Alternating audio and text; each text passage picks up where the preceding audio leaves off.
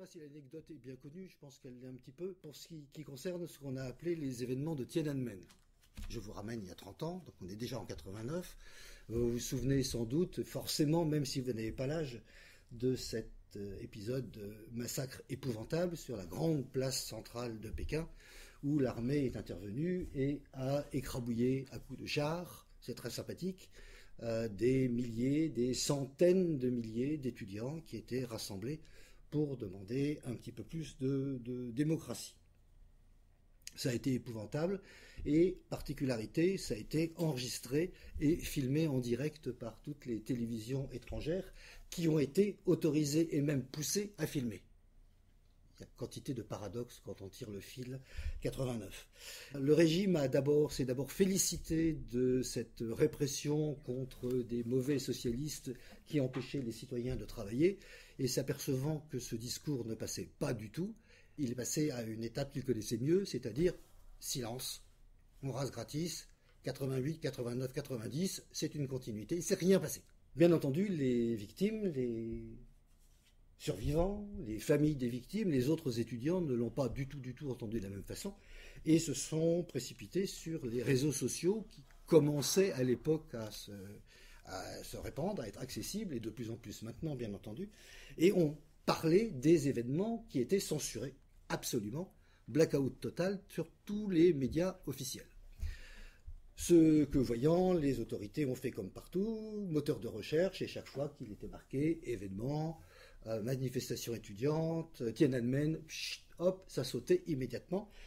Donc les étudiants ont appelé ça d'abord l'incident du 4 juin. On lui donne un autre nom, on est chez Confucius, si on change le nom, ce n'est pas la même chose. Les autorités n'ont pas tardé à comprendre ce qu'étaient les événements du 4 juin et hop, nouvelle censure. Et dernière étape, et c'est celle qui m'intéresse parce que tout à fait dans le sujet, certains étudiants facétieux, bon ils en avaient gros sur la patate quand même, ont inventé à ce moment-là les événements du 35 mai. Il a fallu un moment aux autorités et aux moteurs de recherche qui étaient évidemment pas du tout calibrés pour avoir un 35 mai, pour se rendre compte de quoi on parlait. C'est pour ça, de cette façon, comme tout ce qu'on vous présente avait été prévu pour le 30e anniversaire et l'année 2019, je vous propose, le temps de cet après-midi, de considérer que nous sommes aujourd'hui le 62 décembre 2019 dans le même ordre d'idées, mais là on peut faire un petit peu d'humour. Dans le cas des Chinois, c'était de l'humour très très très très noir. Euh, puisque j'en suis à cet événement, vous avez peut-être tous en tête le, cliché type de ces manifestations, celui d'un manifestant tout seul devant un char. Alors si c'est le cliché, on ne le voit pas bouger, mais il y a des images qui essaient de l'éviter. Il y a un char, un conducteur de char qui a essayé de ne pas écraser un manifestant. Rien que pour ça, c'est digne d'être noté, et il y a euh, ce cliché de, ce manifestant et du char, donc c'est complètement immobilisé. Et le monde entier a vu ce cliché, c'est même, ça a été tout de suite symbolique ou synecdotique de, l'événement. Or, euh, Adrien Gombeau euh, vient de publier un bouquin qui s'appelle L'homme de Tiananmen et qui nous fait découvrir le fait qu'il y avait, en fait, nous avons tous vu quatre photos. Il y avait quatre journalistes avec des téléobjectifs sur le balcon le dernier balcon de l'hôtel de Pékin, en face, presque en face, et ils ont pris, je vais dire la même photo, ce que nous avons tous vu comme étant la même photo, alors que nous connaissons l'épisode, nous voyons de quoi il s'agit, et qu'en fait, aucun d'entre nous, probablement, n'a vu la même photo. Vous voyez où je veux en venir, 89 pour, euh, pour, euh, pour nous, c'est cet objet euh, diffus qui à la fois réunit quantité de choses différentes qui ne se passent pas, même pas forcément en 89, et qui, une fois comme l'extension de l'univers dans les deux sens, une fois tout rassemblé sous ce drapeau de 89, réexplose dans tous les sens. J'aurais pu donc, j'étais arrivé après de nombreuses discussions au titre, au noyau sociogrammatique 1789-89. Noyau conflictuel, comme vous le savez. J'aurais pu, bien entendu, opter pour euh, 89 euh, en lettres, comme Victor Hugo avec 93, c'était même extrêmement tentant, mais un peu vantard de ma part, euh, ou pour paraphraser Philippe Muret, mais je ne prendrai que ça chez lui, 89 à travers les âges, ou le moment 89 pour encore piquer mon titre à quelqu'un d'autre, euh, pourquoi pas de quoi 89 est-il le nom ou 89 au pluriel? Ben, J'ai préféré quand même un noyau euh, sociogrammatique. Donc on va s'occuper de, euh, ce 89 et en particulier de la principale conséquence de 89. C'est ce que Peter Schneider, mais Pascal Bruckner a repris le, le nom après. comment fait-on aujourd'hui pour vivre sans ennemis? Comment se reconstruit le monde alors qu'il était en deux parties et qu'une des deux parties a explosé? On verra dans les détails que ce n'est pas aussi simple que ça, mais c'est ce sentiment. Qu'est-ce que, est-ce qu'on fait comme en Allemagne de l'Ouest, c'est-à-dire on fait disparaître la RDA et on devient l'Allemagne, et on fait comme si on pouvait continuer comme avant? Je pense que ce serait euh, reprendre l'expérience allemande, c'est-à-dire que ça fait 30 ans qu'ils se rendent compte que ça ne marche pas du tout, du tout, du tout comme ça. Alors la première partie, on va faire une première partie euh, avant l'interruption, et avec un certain nombre de, lectures de, Vélina. Je l'ai intitulé 89 où en cherchant évidemment le paradoxe entre un temps et un espace. Parce que la première manifestation de ce 89 totalement évident, changement de paradigme historique, euh, division du monde qui disparaît, euh, l'impression que, que, la partie gagnante veut donner, à savoir que elle est l'aboutissement de l'espace et que le monde entier va finir par suivre. Quelle illusion, mais c'est l'idée portée dans, par ce 89. Il se trouve que ce 89, et même 1789 de façon chronologique, n'a absolument pas le même sens selon l'endroit où on se situe, et de façon très très très très forte. Bon, je parle de ma boutique, pardon, 200e anniversaire de la Révolution française, voire pour les plus jeunes et certains de mes étudiants, anniversaire du 200e anniversaire, parce qu'eux, ils se souviennent surtout des grands défilés de Jean-Paul Goude avec les grandes machines les éléphants partout. La révolution elle-même n'était plus à leur programme. Mais ça peut être aussi donc la chute du mur de Berlin pour euh, bien des pays, euh, mais aussi autre chose pour des tas de pays qui non soit connaissent cet épisode de la chute du mur du Berlin, soit le connaissent mais n'en font pas un épisode structurant, soit euh, n'y pensent absolument pas ou ne sont même pas au courant. Je pense pour tout l'Extrême-Orient à l'anniversaire, au centième anniversaire de l'année 1919, qui a été la grande année des premiers mouvements démocratiques et des grands mouvements démocratiques au Japon, en Corée, à Taïwan, partout en Chine et même dans le sud-est asiatique. 1919, c'est l'époque moderne qui commence. C'est quelque chose de très lourd. Et tous les neufs qui suivent sont importants. Il y a toujours forcément quelque chose qui se passe en 29, 39, 49, 59, mais 1919, tous les bouquins d'histoire en Extrême-Orient, volume moderne, c'est 1919. Nous, ce sera probablement la Première Guerre mondiale, quelque comme ça. Euh, on peut aussi penser au 40e anniversaire de la création de la République populaire de Chine, au massacre de Tiananmen, 30e anniversaire, euh, dans d'autres pays, c'est le 30e anniversaire de la fatwa de mort euh, prononcée contre Salman Rushdie. Vous voyez, on se décentre tout de suite. Euh, pour vous, malheureusement, l'anniversaire de la, tragédie de l'époque polytechnique, dont je ne suis pas sûr, et malgré sa horreur, qu'en Thaïlande ou ailleurs, on sache ce que ça représente.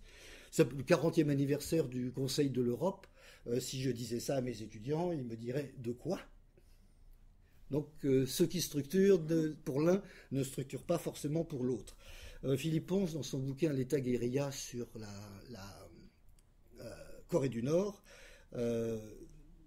signale ce fait-là en disant que même la valeur synecdotique de 89, c'est-à-dire chute du communisme en général, et sans doute chute d'un certain nombre d'idées de progrès social, même cela n'est pas structurant pour l'ensemble du monde, loin, loin, loin, très loin de là. Comment on va faire positiviste? C'est-à-dire, il y a bien un 89 qui s'est passé en 1789.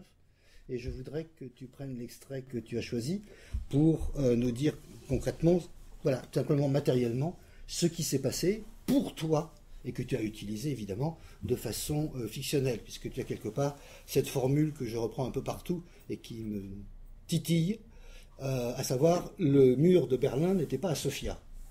Pour euh, enchaîner directement, oui, le mur de Berlin, il n'était pas à Sofia, mais le lendemain, pour nous, là-bas, c'était le 10 novembre, qui a devenu la date le plus emblématique dans notre histoire contemporaine, et notamment, voilà, la fin de, tout ce qu'on a connu avant.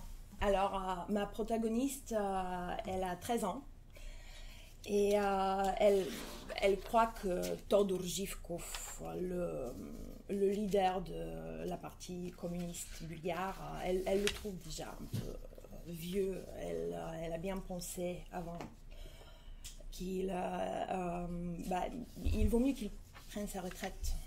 Mais là, la date est le 10 novembre 1989 et c'est elle qui vous raconte ça. Todor Zhivkov a vraiment pris sa retraite. Mais il se trouve que s'il n'y a plus de Zhivkov, il n'y a plus non plus de communisme en Bulgarie. Nous sommes en classe quand la nouvelle arrive et tous les professeurs filent dans la salle de prof pour écouter la radio. Je me dis que nous devons peut-être attendre pour demander à nos parents si c'est vraiment vrai, mais je n'ai jamais vu une telle excitation à l'école. Les élèves grimpent sur les épaules des autres pour retirer les portraits de Givkov des murs des classes. Les plus grands élèves enlèvent même leurs uniformes d'école bleu nuit et essayent de les brûler au milieu de la cour avec un tas de livres de classe qui ont été utilisés pour leur laver le cerveau avec le communisme. Le lendemain, tout le monde vient à l'école en jean. De nombreux professeurs, si choqués par cette folie, s'en vont. Nous avons, euh, nous avons des cours annulés presque toute la journée, alors ça, c'est vraiment très très chouette. Nous participons à la construction d'un feu de joie dans la cour. Plus personne ne nous forcera à porter ces horribles uniformes et à étudier ces stupides livres communistes. Personne n'a plus besoin de foulards rouges de pionniers non plus. La dernière fois que nous avons dû les porter, c'était le 7 novembre, pour le 72e anniversaire de la grande révolution socialiste d'octobre. Il n'y avait pas d'école ce jour-là, comme toujours, et euh, il, faisait gris et froid, et le grand défilé annuel, là où on, euh, on chantait des slogans louant l'URSS, nous ne savions pas que seulement quelques jours après, l'URSS ne sera plus notre pays frère. Dans les rues, c'est la fête. Il y a des rassemblements partout, toute la journée. Les symboles socialistes se jettent au bas des immeubles. Tout le monde chante des slogans, cette fois pas pour le communisme, mais pour la démocratie. Cela signifie que la Bulgarie va devenir comme la Corée du Nord, une république démocratique populaire. C'est si chouette. Chaque soir, quelque chose d'excitant se passe. Le peuple se sent libre et l'euphorie est stupéfiante. Le Parti communiste bulgare se divise en deux. Le Parti socialiste bulgare et l'Union des forces démocratiques rouges et bleues. C'est euh, comme si euh, des rues étaient pleines de supporters de football avant un match de Levski. C'est quand nos équipes rouges et bleues. Grand-maman se plaint sans cesse que tous ces cris dans les rues lui donnent la migraine. Les noms des rues, des boulevards, des parcs, des magasins et des cinémas changent chaque jour. Mon père attend avec impatience le grand meeting de l'Union des forces démocratiques. Art Garfunkel va chanter. Je ne sais pas qui c'est, mais quand je découvre que c'est un chanteur américain, je supplie mon père de m'amener avec lui. La vue est incroyable. Du pont des Aigles tout au long du boulevard Lénine, euh, du parc de la Liberté, qui s'appelle différemment maintenant, mais j'ai un peu du mal à suivre les nouveaux noms. La circulation est arrêtée et il a une marée humaine, tout le monde agitant des drapeaux bleus de la démocratie. Nous n'entendons absolument rien des chansons de Art Garfunkel.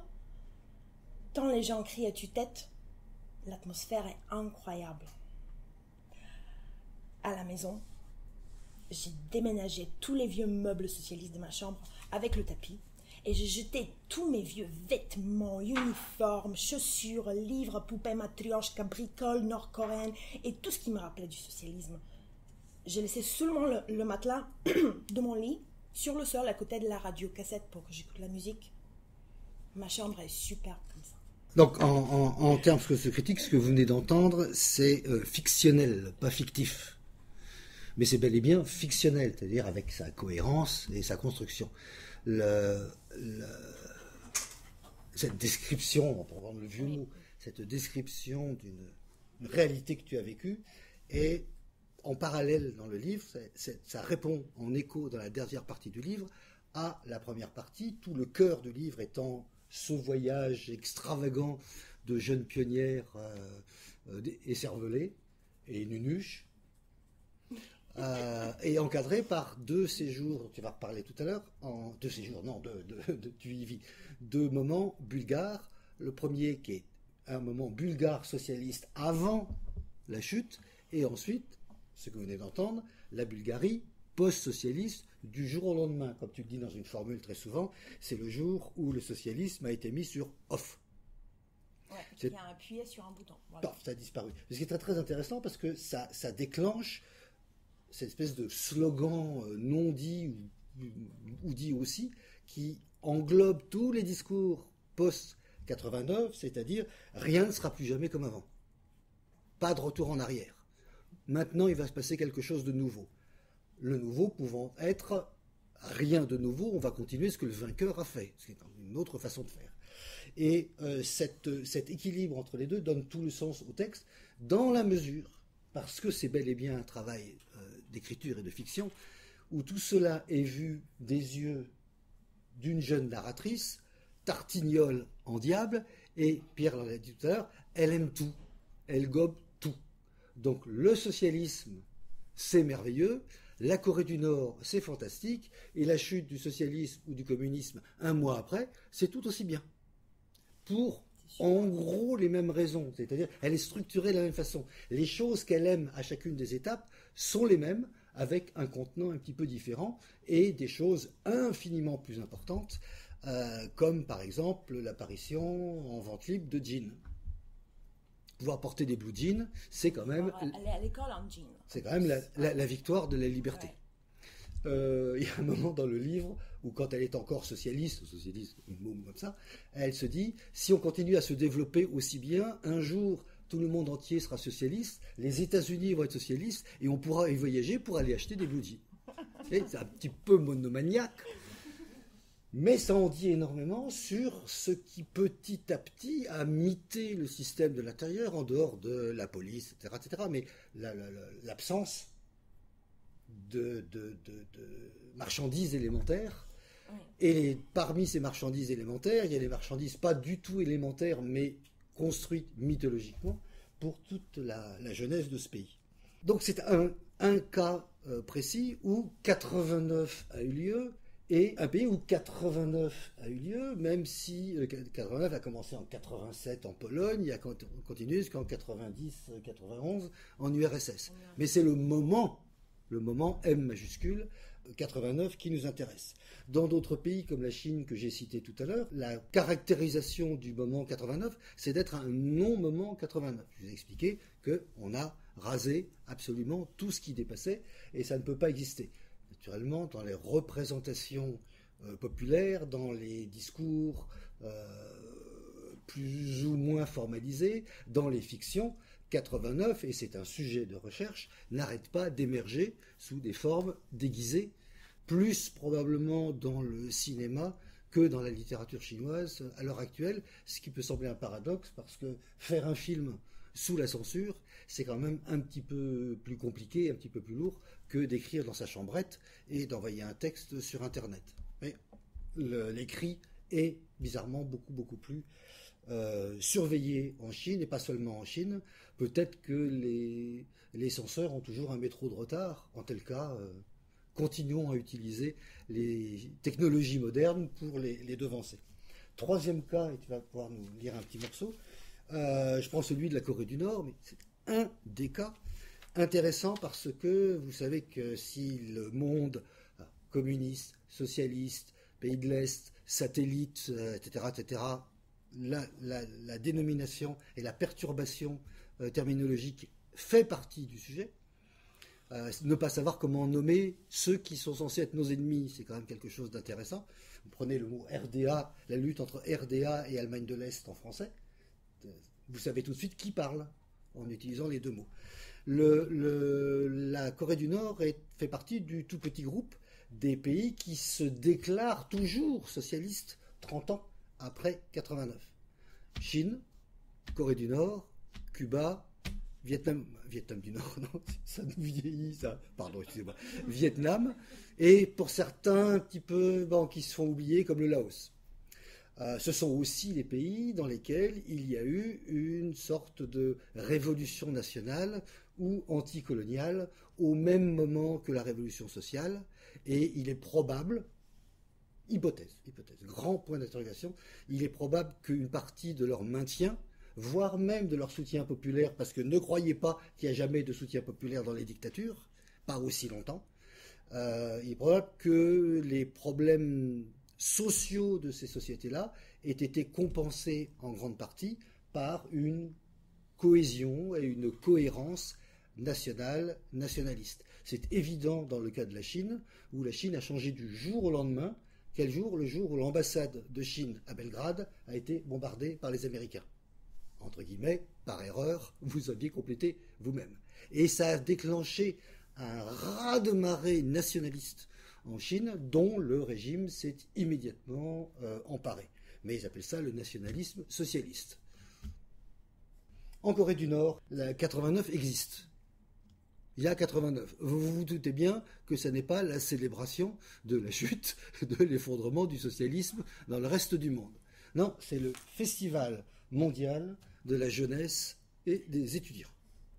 D'abord, je, vais parler un peu justement sur, cette idée de, euh, de, vraiment de situer euh, ce roman que j'ai écrit en bulgare, euh, de le situer en 89 bien documenté avec les dates précises, vraiment comme un journal intime, le 14 août 1989. Et voilà.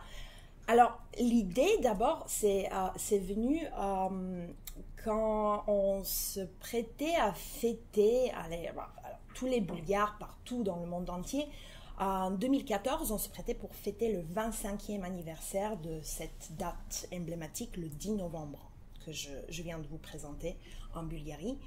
Euh, alors, partout, les Bulgares se demandaient même sur Internet, sur les réseaux sociaux, alors, est-ce que vous vous rappelez, ça fait 25 ans, est-ce que vous vous rappelez, qu'est-ce que vous faisiez ce jour-là? Quand vous avez entendu la nouvelle Qu'est-ce c'est quoi C'est quoi vos souvenirs? Alors, qu'est-ce qui s'est passé euh, dehors dans la rue? Et voilà. Et moi, j'ai commencé à fabriquer un peu mes propres fragments de tous ces souvenirs de, de 89 parce que j'ai derrière dans ma tête des souvenirs très clair. J'étais adolescente, j'étais à l'école. Pour nous, c'était vraiment le, euh, l'événement le, plus, plus incroyable qu'on pourrait imaginer. Alors, je me suis mis à fouiller dans mes journaux intimes parce que j'ai écrit des montagnes, j'ai remplissé des carnets pendant tous les années 80, pendant toute ma scolarité en Bulgarie. J'écrivais tout ce qui s'est passé, mais tout ce qu'on a acheté, tout ce qu'on a mangé, tout ce qu'on a regardé à la télé, euh, alors les garçons, les filles, la musique, les voisins, les tout. Et la chose le plus, la plus, étonnante que j'ai découvert dans des vieux carnets et cahiers que j'ai trouvé, c'était un séjour que j'ai fait moi quand j'avais 12 ans, un séjour en colonie de vacances internationale en Corée du Nord ou aussi j'ai tenu scrupuleusement un journal intime, pas très intéressant d'ailleurs parce que c'était euh, c'était vraiment un, séjour lourd d'idéologie. Alors j'ai bien transmis, ça dans mon roman, mais du coup il avait quelque chose de alors ce voyage c'était en, en 86 87 je crois. Alors qu'est-ce qui s'est passé en Corée du Nord en ce moment? Parmi tous les les trucs de colonie de vacances. Alors on se lève, on fait la gymnastique, on mange du riz, on va à la plage, on chante. Euh, il avait cette histoire de 89. Alors, cette année 89, écrit dans des, des grands. euh, C'était quoi le billboards euh, déjà? Oui, Le- les, les grands panneaux les dessinés, les fresques euh, publiques. presque des fresques. Alors, il avait dans, dans la rue des, euh, des, des jeunes souriants avec l'année 89 dessus. Et alors, bien sûr, on a demandé, mais c'est quoi 89 On n'est pas, on n'est pas, c'est l'année, on n'est pas encore là. Qu'est-ce qui se passe? Alors là, ils nous expliquaient, les Nord-Coréens, nos chefs de groupe, ils nous expliquaient tous. Alors ça, c'est parce que en 89, ici à Pyongyang, il va avoir le festival de, la jeunesse et des étudiantes du monde entier. Ils vont venir ici et ce sera, le, festival le plus grand dans l'histoire de festival mondial de la jeunesse jusqu'à cette date, en 89. Et ben voilà, nous, on, est, on est gosses, on est émerveillés par ces deux chiffres, 8 et 9. Et alors, ça ne se termine pas ici, parce que déjà, tout ce qui a été construit pour accueillir cette jeunesse mondiale à Pyongyang, c'était le plus grand stade du monde entier. L'hôtel le plus haut avec, euh, je ne sais pas, 300 étages euh, euh, du monde entier. Alors, on va construire tout ça. Et il nous, ramène les groupes de pionniers de tous les pays socialistes. Il nous ramène pour nous montrer des gros trous dans la terre, là où il y a des travaux monstrueux en cours à Pyongyang. C'était l'été, il faisait chaud, il faisait humide. Nous, on voulait aller à, la piscine, montrer notre maillot de bain, se coiffer, mettre des garçons. Mais on- n'avait rien à foutre avec les trous dans la terre. Mais il nous amenait ensuite dans les salles, euh, peut-être pas climatisées à l'époque, mais euh, au moins à l'ombre, pour nous montrer des maquettes. Alors là, ce trou que vous venez de voir, hein, ne vous prenez pas, hein, c'est important parce que là, ça va devenir, regardez, maquette du stade, le plus grand du monde entier. C'est là où on va avoir le festival, là où on va avoir la musique, les danses. Et bien sûr, nous, euh, les, les gamins en 87, 86, 87, nous, on commence à rêver de voir ce festival. Mais ce serait quoi, mais mon Dieu, mais ce serait un truc magnifique. Et alors, bien sûr, après, on est rentré en Bulgarie, le, euh, le festival, euh, je ne sais pas, je- j'avais pas trop suivi à l'époque, mais une fois que je me suis mis à écrire ce roman en bulgare, je me disais, tiens, c'est quoi 89 Oui, d'accord, c'est le chute du mur, mais il avait cette espèce de 89 important. Est-ce que ce festival a vraiment eu lieu? J'ai commencé à lire, à, essayer de lire tout ce que je peux trouver. Il n'avait pas beaucoup, pas beaucoup d'informations. Alors, il avait euh, la plus grande délégation bulgare avec tous les perestroïka punk, heavy metal, jazz, ethno, pop, tous les chanteurs. Il avait la plus grande délégation avec les, avec, avec toutes les représentants de la culture bulgare dans des années 80 en ce moment. Ils sont tous partis à faire ce festival. J'ai vu même des photos dans les journaux. Et alors, ce festival, il a eu lieu. Ah oui, il a eu lieu. Et moi, je voulais tellement le décrire. Et je voulais décrire cette espèce de, folie que que j'ai que j'ai découvert, que j'ai fait dans des années 80, voyage en camp de pionniers en Corée du Nord. Je voulais le réunir justement avec le chute du mur pour que tout se passe en même temps, pour le documenter ensemble. Et alors c'est pour ça que j'ai fait comme si ma narratrice a presque vu le festival. Presque. Et alors, elle arrive à Pyongyang en 89, bien sûr, dans le roman. Pyongyang est vraiment belle. Il y a beaucoup d'arbres, des espaces verts avec de belles fleurs, des avenues larges, des trolleybus. Les hommes et les femmes marchent dans les rues en grands groupes. Les femmes portent des longues robes en soie de couleur claire, les hommes quelque chose comme des uniformes. Il a des drapeaux de tous les pays du monde partout. Le logo du 13e Festival de la jeunesse et des étudiants se trouve dans tous les coins avec des tailles différentes. Il ressemble à une fleur avec toutes les couleurs de l'arc-en-ciel et une colombe blanche au centre, probablement un symbole de paix, parce que beaucoup de balcons abordent des signes paix, amitié, solidarité et bienvenue, encore dans différentes couleurs. Même s'il est terminé, le festival était le plus grand du monde et son esprit est toujours dans l'air. Des gens du monde entier ont envahi Pyongyang et bien sûr, parmi des larges groupes de Coréens marchant dans les rues, nous voyons les Africains, les Indiens, les Européens. C'est vraiment dommage de ne pas avoir quitté la Bulgarie un tout petit peu plus tôt. Nous avons tout raté.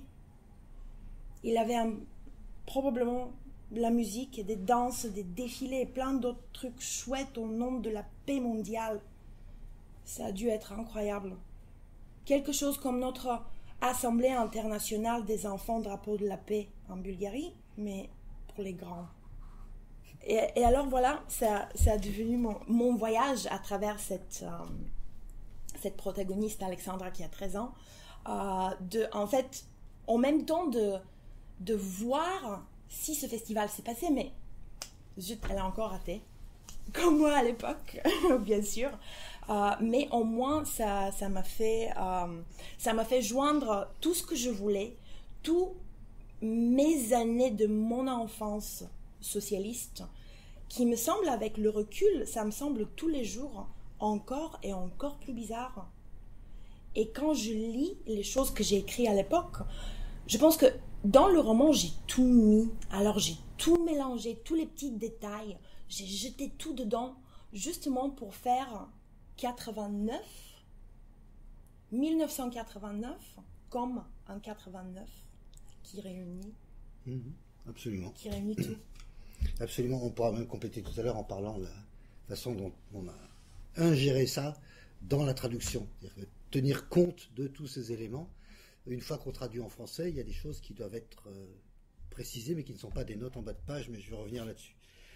Euh, en gros, il faut la remercier, ça nous fait un sociocriticien de plus, le, président de la Corée du Nord, euh, qui est un sociocriticien qui s'ignore. vous, ça ne vous aidera pas parce que vous êtes très nombreux ici, vous êtes la capitale mondiale de la sociocritique. À Paris, à Paris il y a une sorte de, d'épuisement ou de vieillissement des troupes, et puis après c'est réparti un peu dans le monde. Mais il y a des sociocriticiens qui s'ignorent, c'est-à-dire le régime nord-coréen qui euh, nous donne raison euh, en, montre, en prouvant que la société représentée, la société des représentations, a horreur du vide. C'est-à-dire que quand on ne peut pas représenter quelque chose, on utilise la représentation disponible, la représentation la plus large.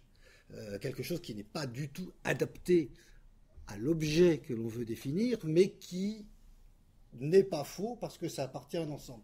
J'ai dressé autrefois, je ne donnerai pas la date non plus parce que j'ai pris assez de coups déjà, euh, le sociogramme de l'Asie-Orient. Pourquoi Asie-Orient, euh, la rousse du 19e siècle, Orient voire Asie, Asie voire Orient. et chaque fois qu'on emploie ces mots-là, on représente une géographie différente celle de nos colonies, par exemple, avec nos chers amis anglais. Qu'est-ce que c'est que le Moyen-Orient? Où est-il? À Paris, un restaurant oriental, c'est un restaurant algérien. Enfin, voyez la perturbation sociogrammatique, mais typique là, ça est vraiment, on est un qui est très très bien. Et euh, je me suis aperçu que ne correspondait aux représentations partielles de, qui composaient cet ensemble flou, ce sous-ensemble flou, euh, ça ne correspondait historiquement qu'à très peu de pays définis, définis nos colonies et celles des copains, on va dire les choses comme elles sont, l'histoire est là, et que quand on ne pouvait pas, quand on n'avait pas d'objet, c'est-à-dire ces pays que ça te fait hurler, que j'appelle les pays qui n'existent pas. La Corée en est un, la Bulgarie en est un. Je suis, désolé. Je parle de représentation. C'est mais un jour tu comprendras. De représentation. C'est-à-dire de pays qui ne sont pas représentés pas au sens de Marx euh, sur l'Inde, les pays qui ne, sont pas encore en mesure de se représenter eux-mêmes. Non, non, qui ne sont pas l'objet ici, hic et nous, de représentation spécifique. On prend les représentations, zoom arrière, plus large. Autrement dit, ceux qui fonctionnent pour désigner, pour représenter la Corée dans les textes français, ne parlent jamais de la Corée de façon précise, mais on prend exactement toutes les représentations qui marchent pour la Chine, pour l'Inde, pour le Japon, pour le Vietnam, parce qu'en gros, ça marche.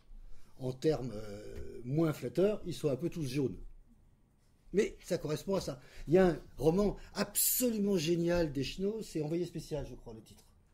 où il envoie une héroïne tout aussi euh, que la tienne, mais en plus vieux, qui est envoyée comme espionne en Corée du Nord pour séduire le patron des services secrets et le faire passer au Sud. C'est ce truc qui impossible, incroyable. Et Schnoz n'a jamais mis les pieds en Corée du Nord. On va probablement y aller ensemble parce que maintenant il veut bien y aller. J'ai proposé d'y aller. Et il a travaillé uniquement sur ce qu'il a glané dans les journaux, c'est-à-dire les représentations figées, donc les lieux communs. Lieux communs, vous savez qu'en sociocritique, ce ne sont pas les clichés nuls des autres, c'est aussi c'est ça, mais c'est aussi l'endroit où nous passons tous. C'est un lieu qui nous est commun. On ne peut surtout pas mépriser les lieux communs. Merci Faubert. Et euh, dans, cette, dans cette perspective, on s'aperçoit que les, représentations mises en œuvre pour désigner la Corée, ce sont toujours absolument systématiquement les mêmes. Certes, c'est valable pour tous les ensembles euh, de représentations, mais c'est valable pour des pays autres et on le fait fonctionner pour la Corée parce qu'il n'y a rien de disponible. Et je disais, la Corée du Nord est devenue sociocriticienne parce que au lieu de fabriquer des représentations euh, que personne n'aurait repris, parce qu'une représentation, c'est une présentation, re, puis utilisée comme représentante de quelque chose. Il faut que ce soit répété par on. On ne décide pas d'une représentation, bien évidemment. Excusez-moi du, quasi-pléonasme de, ma phrase. Or, ils ont très très bien compris que, au lieu d'essayer de lutter et de détourner l'attention, ils ont fabriqué 89 à partir de zéro. Ils ont fabriqué le festival mondial de la jeunesse et des étudiants en 89. Il était prévu un petit peu avant, mais personne ne devait y aller, et ils ont mis tout l'argent du pays tel que, pendant 15 ans après, ils ont crevé de faim. Vous avez entendu parler de la famine en Corée du Nord, merci pour eux, il n'y en a plus, mais ils ont ruiné absolument le pays pour une raison, j'allais dire intelligente, excusez-moi, c'est vraiment le mot, mais politiquement euh, intéressante, dans la mesure qu'avec le 89 coréen, ils ont répondu à deux questions. 89, c'est la suite de 88. Qu'est-ce que c'est 88 en Corée? Ce sont les Jeux olympiques en Corée du Sud. Et la démocratisation en Corée du Sud, forcée par euh, euh, les Américains et l'Europe, pour une fois pas trop mal, a dit si vous voulez les Jeux olympiques, votre dictateur, vous le rangez. Et donc il y a eu des élections où le bras droit militaire du dictateur a été élu. Donc c'était une démocratie la Corée du Nord répondait à ça en disant la Corée du Sud est sur la carte, la vraie Corée c'est moi, je dois être sur la carte aussi, je fais ça. Et du coup, en répondant à 88, dont tout le monde se fichait royalement dès le lendemain, on va pas me dire que tous les visiteurs qui sont allés en Corée pour voir euh, courir des athlètes drogués derrière ils sont allés pour découvrir la culture coréenne du XIIe siècle. Ou alors j'ai tout faux, et vous pouvez me jeter des objets contondants avant la fin de la séance. Et du coup, en répondant à 88, ils ont répondu à 89. Et aujourd'hui, en Corée du Nord, tous les ans, on célèbre l'anniversaire de, du Festival mondial de la jeunesse et des étudiants. La dernière fois que j'y suis allé, je suis allé dans le grand stade, évidemment le plus grand stade du monde, construit à l'époque, 150 000 places. Quand on n'a pas à bouffer, c'est une bonne idée. Euh, et on est allé voir euh, des célébrations tout à fait rigolotes d'ailleurs, pour célébrer quoi? Le 30e anniversaire d'un festival complètement foiré. Et tous les Coréens le savent. C'est là où ça devient intéressant, et c'est là où ça reste un pays socialiste à l'ancienne, même si je doute que ça en soit un, quel que soit le critère utilisé, les leurs, les nôtres, la critique, euh, marxiste, pas marxiste, dans tous les sens du mot socialisme, la Corée du Nord c'est une savonnette mouillée. En l'occurrence, cette espèce de double discours de l'existence dont tu m'as parlé cent fois, où euh, on dit une chose à l'extérieur et puis à l'intérieur on dit d'autres choses, euh, ça, c'est très valable en Corée du Nord. Je viens de lire hein, le bouquin d'une fuyarde de Corée du Nord qui, pour une fois, est un livre authentique, parce que si vous voulez lire, des faux, vous pouvez y aller, vous pouvez même en écrire, ça marchera très bien. vous ferez comme Echnoz, vous prendrez tous les lieux communs et vous en ferez un livre, et ça marche très très bien. Ce sont les mêmes. C'est ça un sociogramme, c'est ça qui est intéressant. la, façon de faire fonctionner cet ensemble est fondée sur le fait que euh, dans la vie sociale des Coréens, de toute façon, pour la moitié de la vie sociale, quoi qu'on leur dise, ce sera fait selon une langue, au sens de langues, qui est la leur. Ils sont bilingues. Ils sont bilingues bureaucrates coréens. Ils savent parler le coréen extérieur. Euh, et ça peut aller jusqu'à une, un grand écart absolument ahurissant. C'est toi qui en parlais. Euh, Todorov, Zlatan Todorov m'a dit un jour, on parlait que ça du poste. Euh, en bulgare. Donc, une grande critique bulgare que vous connaissez, mais vous connaissez un petit peu quand même. Enfin, Todorov et Kristeva sont les deux joyaux de la couronne. Vous ne touchez pas, s'il vous plaît. Vous dites que vous avez un titre de sociocriticien d'honneur, ce qui, Todorov, ça le tuerait une deuxième fois, mais voilà. Euh, un jour, il me racontait ce qui se passait, je me demandais quel, quel, lien il avait encore avec le pays et tout et tout, et il était très très distant avec ça. Mais il me parlait de cette, de cette vie quotidienne, et euh, il venait de rencontrer la veille un copain d'enfance qui était euh, vice-ministre de, des travaux finis ou un truc. Bon. Un grand bureaucrate. Et à qui il reprochait d'être euh, ben, un bureaucrate stalinien, d'écraser le pays et tout. Bon, peut-être que la conversation était un petit peu moins critique que ça, mais c'était sa version. Et il lui rentrait dedans en disant Mais t'as pas honte de faire ça? Et l'autre lui a répondu Voilà, c'est la phrase de, Todorov mais il vaut mieux que ce soit nous que eux. la quantité de eux, ça faisait quand même peut-être trois, trois euh, pro-soviets dans le pays. Parce que même les dirigeants du régime eux-mêmes s'abstraient de, cette obligation. C'est eux-mêmes étaient en double discours par rapport aux règles générales du camp socialiste. Il vaut mieux que ce soit nous que eux. Que la, Enfin, pas. moi, je suis toujours resté avec cette phrase en me demandant de quoi il parlait. Euh, je te rends la parole. C'est l'introduction réécrite de la version française de Red Shorts, dans laquelle tu te places effectivement, ou, pour moi c'est la première fois que tu parles de 89. Alors euh, en français, parce que euh, là ce serait mon introduction dans la, la, version qui sort aujourd'hui. Ah, là, on a zappé un paragraphe. Patrick, excuse-moi, je vais vous la lire en anglais. La première paragraphe de, de cette introduction qui parle de, des shorts rouges. Voilà. The red shorts belong to my mother. There was a pale old technicolor photograph in a desk at home where she is a blonde, skinny kid of no more than 12 wearing these beautiful bright red shorts. Là, ça commence, euh, ma traduction validée par Patrick en français. C'était une époque étrange dans la Bulgarie socialiste quand j'étais enfant. Les voitures avaient l'air de voitures de dessins animés. Euh, l'apparence et l'odeur des cosmétiques n'étaient pas très attirants. Selon le modèle soviétique, le samedi était travaillé, même pour les écoles, et les policiers s'appelaient les miliciens. Les vêtements et chaussures de qualité et de belle allure n'étaient pas souvent vendus dans les magasins. Les produits fabriqués en Bulgarie étaient moches pour le moins. Les rares importations apparaissaient et disparaissaient sans laisser de traces, parfois avec de crépages de chignons entre clientes. Mais les femmes bulgares réussissaient quand même à paraître chic pendant le socialisme. Tissus, boutons et couturières étaient faciles à trouver et les rares exemplaires du magazine Bourda venus de étrangers donnaient un aperçu précieux de la mode occidentale et donc susceptible d'être reproduit.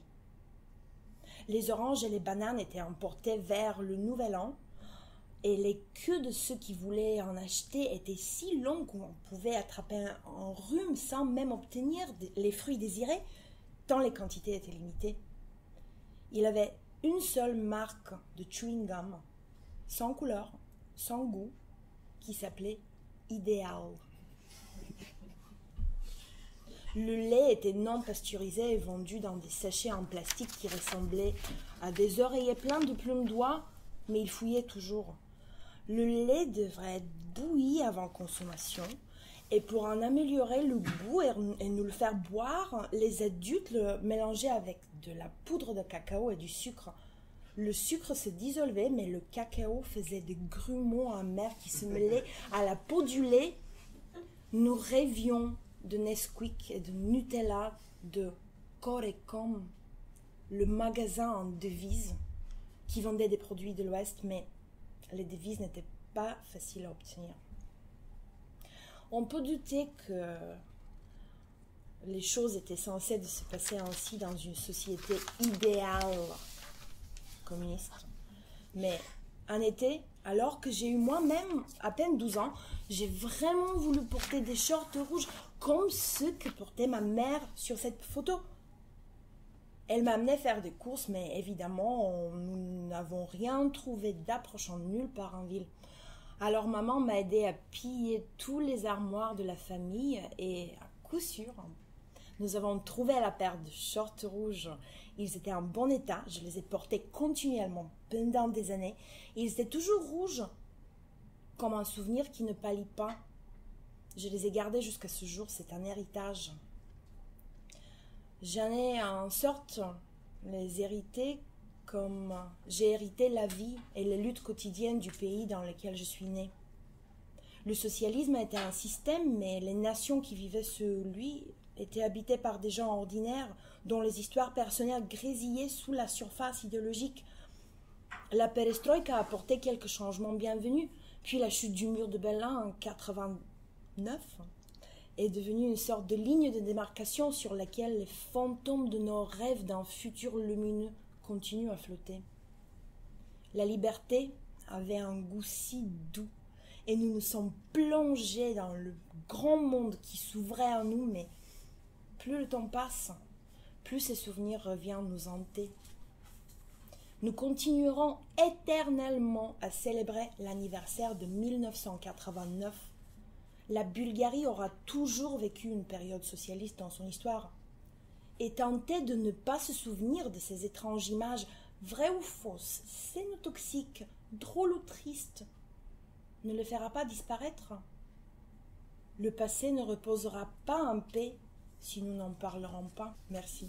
Donc, euh, deuxième partie, après 89 ou 89 quand, je quand même que ça arrive, euh, on va fonctionner de la même façon, peut-être un petit peu plus séparé, plus deux blocs dans la deuxième partie. Donc, euh, d'abord le linéaire.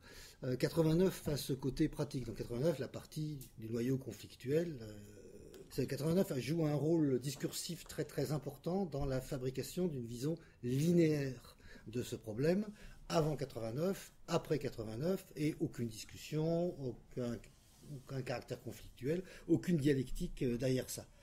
Voulez, un avant fini, terminé, fort clos, euh, dont on espère ne rien revoir, et un avenir qui était ouvert sur un non-dit ou une façon de faire en sorte que l'après 89 fasse en sorte qu'il n'y ait plus jamais d'avant 89 ou d'un retour de l'histoire à un moment quelconque. Plus jamais cet avant 89. Or, Vélina vous l'a dit tout à l'heure, elle avait tout à fait raison, euh, la Bulgarie a été socialiste, et même si c'est terminé, elle aura toujours été socialiste pendant 45 ans. Tant à lire et à entendre ou à voir tout ce qui concerne 89. Et cette année, il y a eu pas mal de choses. En France, je dis pas mal de choses, euh, parce que si on fait attention, on en trouve. Mais j'ai trouvé ça très, très, très, très maigrichon comme célébration par rapport à l'importance de l'événement, y compris de façon euh, nombriliste française habituelle. Euh, même en disant 89 chez nous, en gros le mur de Berlin c'était à Paris, version française des choses, même de ce point de vue-là, franchement, j'ai trouvé ça très très mou. Il y a eu pas mal de, documentaires fabriqués à la va-vite où on voit des soldats est-allemands marcher au pas et montrer que euh, quelques années avant, ils marchaient au pas sous le drapeau nazi, tout cela n'étant valable naturellement que pour la RDA et absolument pas pour la RFA, qui n'était pas en Allemagne avant la guerre, bien entendu. L'entreprise de réécriture euh, de l'histoire est absolument massive et de négation même. Le noircissement systématique du passé, je précise bien tout de suite que le noircissement du passé n'a rien à voir, malheureusement rien à voir avec la noirceur du passé. C'est pas du tout la même chose. La façon d'écrire le passé ne peut ouvrir qu'à des questions elles-mêmes linéaires. Avant 89, c'était le socialisme, ok? Et avant le socialisme, c'était quoi? Pourquoi n'y aurait-il de problème que de ce passé socialiste? Et pourquoi ne resterait-il rien de ce qu'on appelle un peu trop facilement, quand on n'a pas, trop fait d'histoire, les racines? De la vulgarité Les racines de la vulgarité, elles ont 45 ans et rien ne s'est passé avant. Donc l'histoire de la Bulgarie, c'est 45 ans plus 30 ans. Ça me semble un petit peu curieux comme façon de voir les choses. Euh, que reste-t-il même d'ailleurs de ce socialisme s'il en reste quelque chose? Euh, Est-ce que tous les problèmes de la société actuelle viennent de là? Est-ce que c'est à cause du socialisme qui fait froid en hiver? Je, prends des exemples un peu extrêmes, mais vous voyez très bien ce que je veux dire. Est-ce qu'on peut un jour arrêter de penser linéairement? Il me semble que pour ce qui concerne la, la sociocritique, euh, on n'est pas, nous ne sommes pas en termes non représentés. Je vous l'ai dit tout à l'heure, la nature représentative a horreur du vide. Et je suis frappé euh, de plus en plus chaque fois qu'il s'agit de questions transnationales, ce qu'on appelle un petit peu trop rapidement, ou je veux dire sans assez de définition, les questions géopolitiques, par la coïncidence euh, entre sociogrammatique entre le post-socialisme et le canevas sociogrammatique disponible qui est le post-colonial. Et le lien entre les deux me semble, les liens entre les deux, y compris contradictoires, me semblent de plus en plus euh, évidents. Je suis bien conscient que la notion de post-colonial est très très très différente selon les pays. On en a encore un avant qui était le post-moderne. Alors historiquement, ils ne sont pas arrivés dans cet ordre-là dans chaque pays et dans chaque culture et dans chaque euh, ensemble intellectuel et de recherche. Et d'ailleurs, chacun lui a donné une acception quelquefois très très très notablement différente. Petite parenthèse pour la Corée du Sud, j'en ai un avant qui est le structuralisme. Il est, post-rien, c'est nous qui sommes des post-structuralistes, mais en Corée du Sud, pendant toutes les années de dictature militaire, on a appelé structuralisme tout ce qui était anti-dictature militaire et globalement le marxisme. Mais comme le mot n'était pas prononçable, on appelait ça le structuralisme, ce qui perd un petit peu quand on s'occupe du vrai structuralisme et qui était aussi euh, compris et utilisé euh, et qui a eu une très très forte influence. Même chose avec euh, le postmoderne, qui a eu une qui a fait un triomphe, qui a absolument dévoré tous les intellectuels sud-coréens euh, sans aucun rapport avec la disparition des grands récits, j'aurai peut-être une seconde pour en parler, aucun rapport avec la disparition des grands récits, euh, post, euh, post-moderne, ça voulait dire prise en compte des éléments de la technique moderne, du chemin de fer jusqu'à la 5G. Enfin, ils sont en avance sur nous, donc j'ai toujours eu l'air complètement à côté de la plaque. tous ces éléments-là, mais arrivés en Extrême-Orient et en particulier en Corée, dans un laps de temps extrêmement court pratiquement tous ensemble. À l'échelle de l'histoire, pratiquement tous ensemble, là où en gros, depuis nos premiers bourgs et nos communes euh, euh, bourgeoises du Moyen Âge, huit siècles écrabouillés en 60 ans.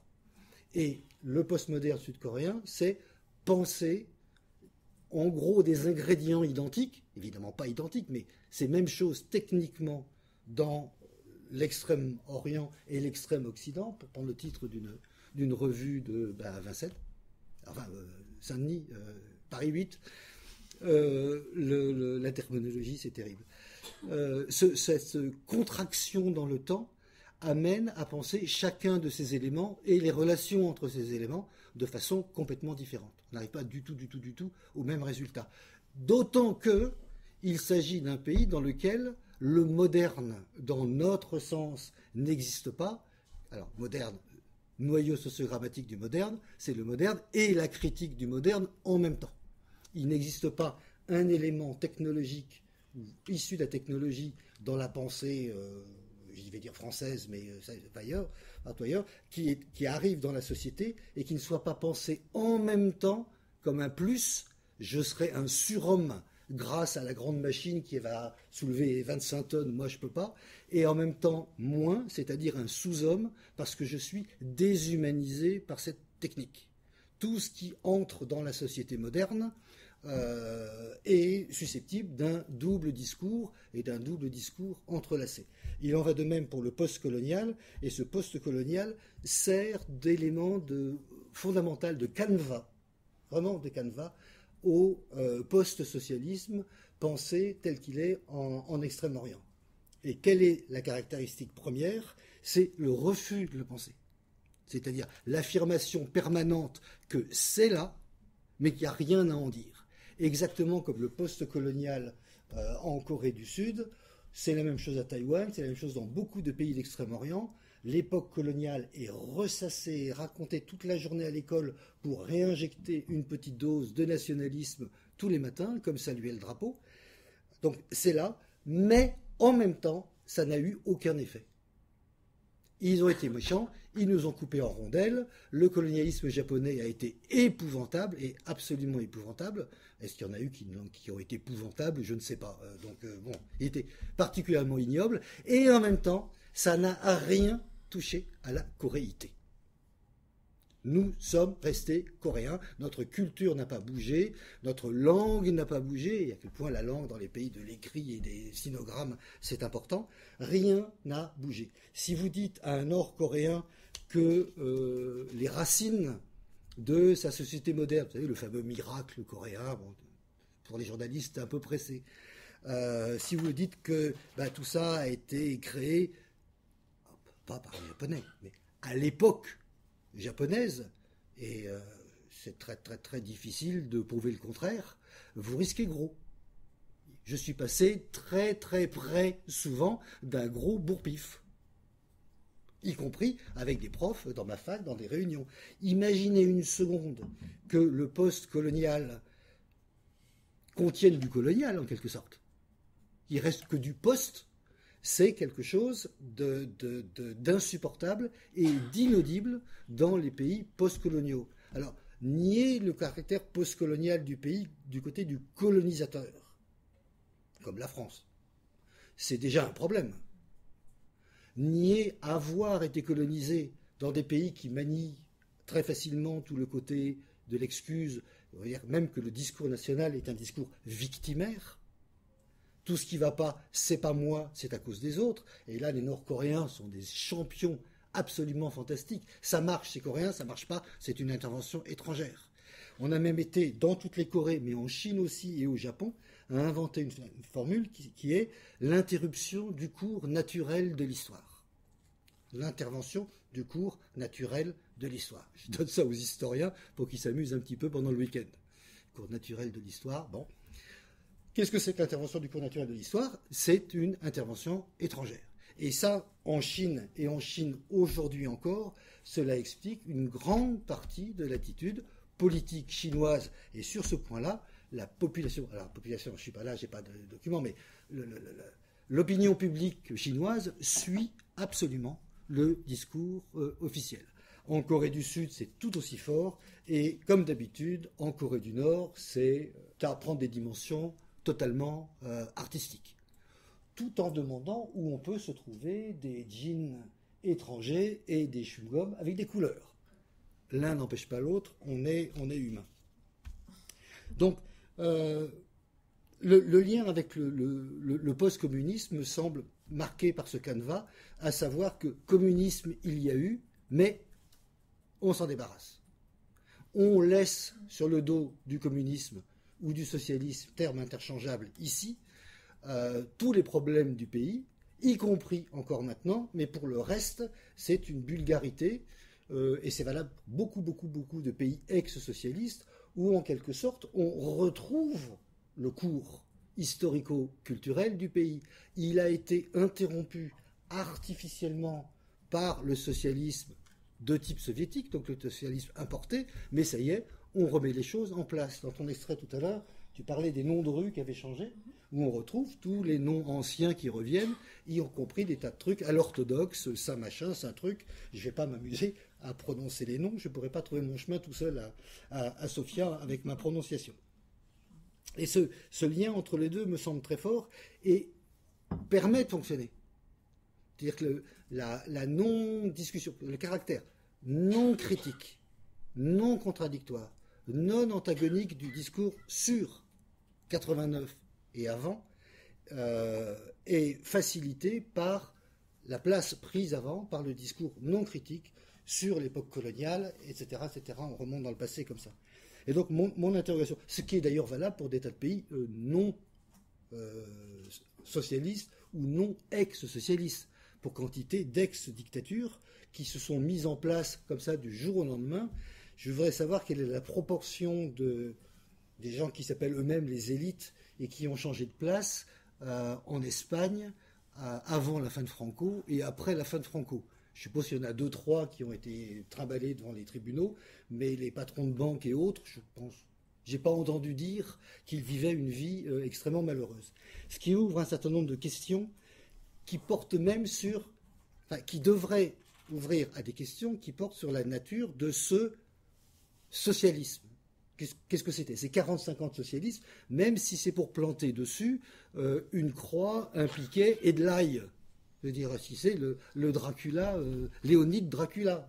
Même si c'est pour en dire pique-pendre, il y a des questions qui devraient en sortir, qui sont des questions, me semble-t-il, de base, pas élémentaires, hein, ça n'a rien de simple.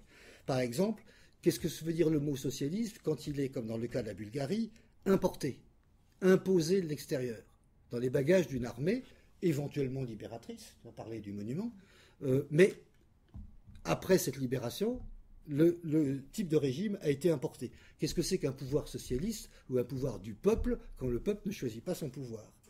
De la même façon, qu'est-ce qui se passe dans des pays, et c'est absolument systématique quand on fouille un petit peu, où on s'aperçoit que la première génération de communistes, majoritaires ou pas majoritaires, soutenus par les soviétiques ou pas soutenus par les soviétiques, ont formé des directions, des comités centrales, alors je mets singulier pour faire des fois le comité central, ont été très rapidement tous liquidés par le régime lui-même. Au bout de 5 ans, il ne reste, 53-55, il ne reste pratiquement plus aucun dirigeant d'origine, Slansky et autres.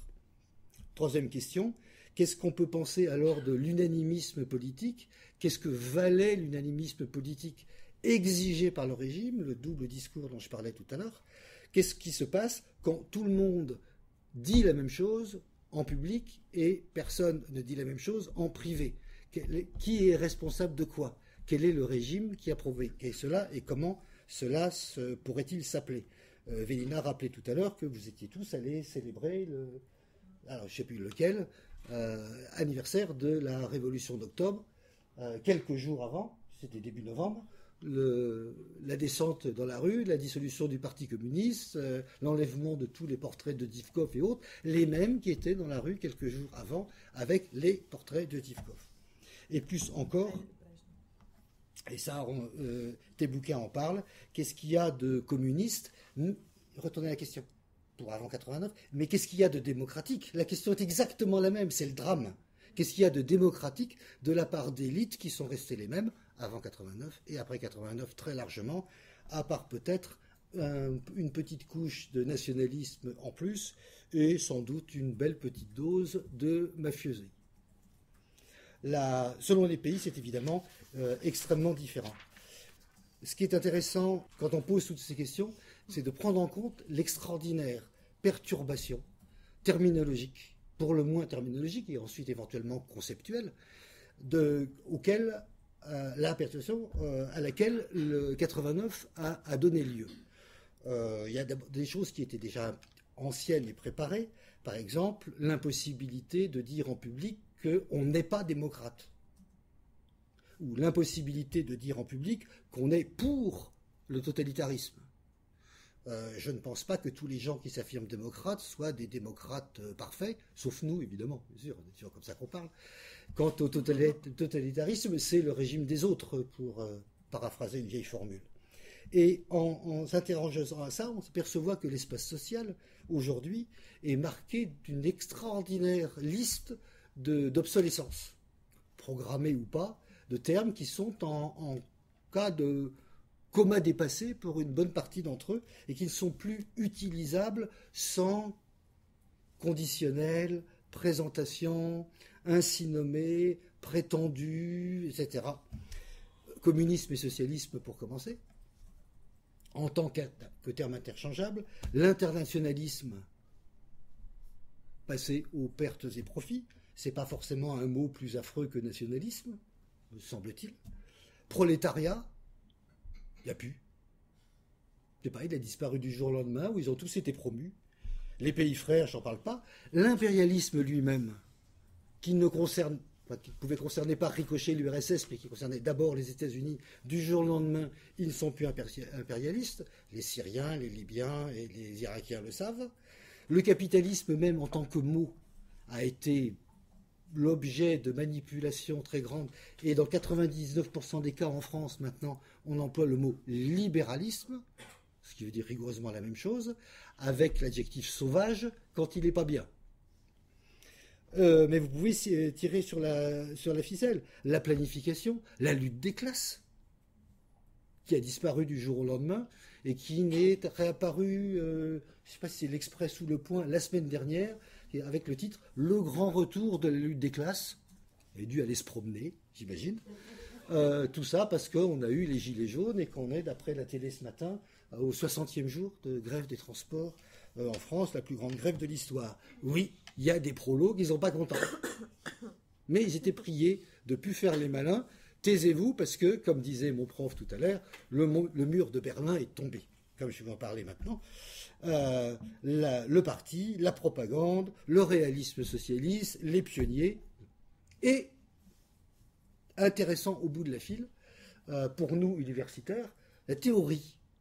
La théorie elle-même, la conceptualisation, la mise en forme théorique d'un discours qui passe aujourd'hui pour un dogmatisme échevelé, en gros les marxistes et leurs épigones qui fabriquent des théories euh, inhumaines et hors de la société. Et j'ai déjà un tout petit peu annoncé, quand euh, je suis entré à l'INALCO, on, a, on, a, on s'est réunis, quelques profs, pour faire un, centre de recherche de littérature. Au bout de 200 ans d'université, il était un petit peu temps.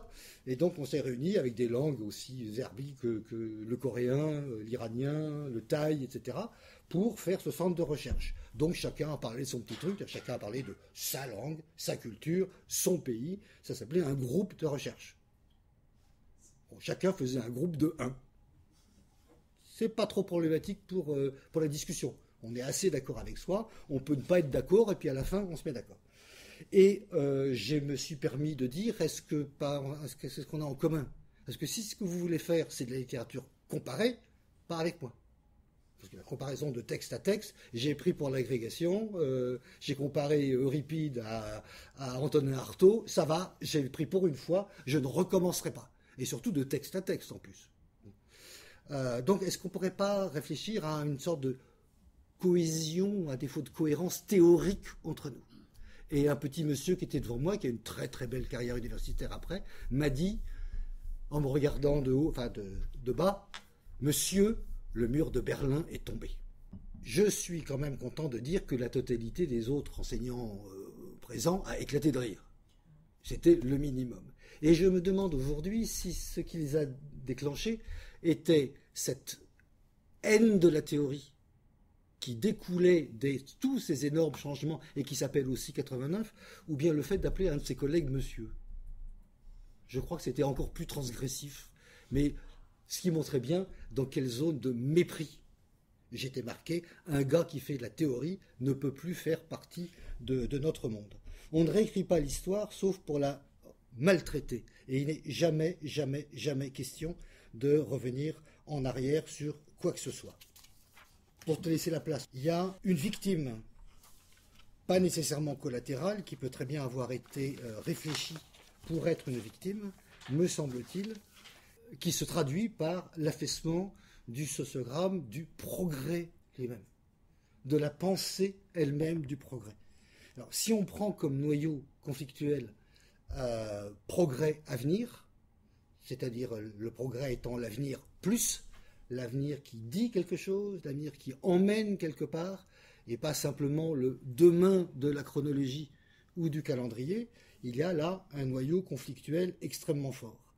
Et au minimum, un minima, on note un affaiblissement considérable de tout ce qui constitue ce sociogramme, de tous les termes, idées, concepts, représentations partielles, ce qui nous emmenait dans l'avenir avec un sens quelconque, quel qu'il soit. Euh, j'avais commencé la liste, mais elle pourrait être euh, infinie et vous pourriez la faire euh, vous-même sans aucun problème.